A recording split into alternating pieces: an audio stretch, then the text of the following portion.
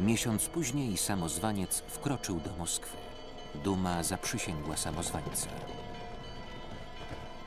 Nastały czasy wielkiej smuty.